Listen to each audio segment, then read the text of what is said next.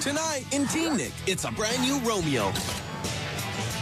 Got any juicy info on uh, Romeo? I paid cash.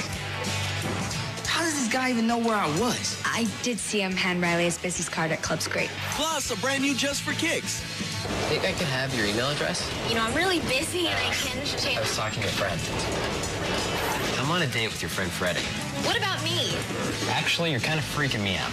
Tonight, starting at 7 in Teen Nick.